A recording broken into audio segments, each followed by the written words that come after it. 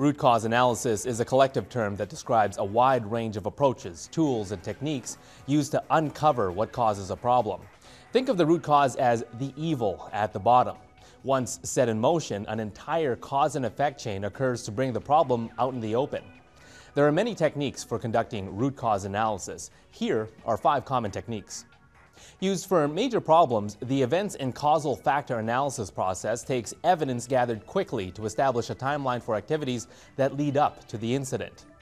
The change analysis approach is used in situations in which a system's performance has changed due to people, equipment, information, or other factors. Barrier analysis technique focuses on controls that are in place to prevent or detect a problem. The management oversight and risk tree analysis approach uses a tree diagram to look at what occurred and why.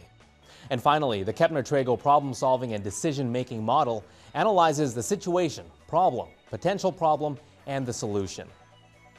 Keep in mind, while root cause analysis tools can be used by an individual, teamwork usually offers better results.